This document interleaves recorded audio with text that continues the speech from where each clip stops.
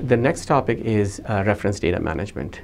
And uh, this is where you operationalize your data. So too often, uh, the standard for reference data management are inconsistent and they cause process breaks. And they put the uh, reference trustworthy business intelligence at risk.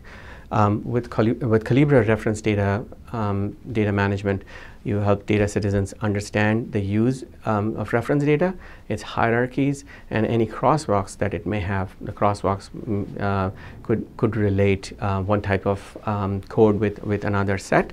With a common understanding of how data is organized, classified, and connected, data users can confidently reconcile data across operational, operational systems for more accurate reporting and an analysis.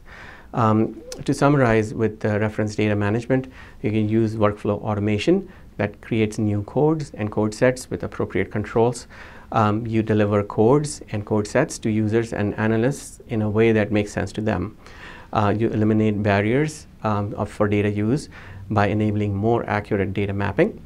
Um, and then you accurately compare data from different parts of the organization um, and you provision and integrate with your operational system using Collibra Connect. And just a quick note on Collibra Connect, uh, which uh, Collibra Connect uh, allows you to integrate Collibra with external systems where you can integrate ingest data or um, export data uh, from Collibra as needed.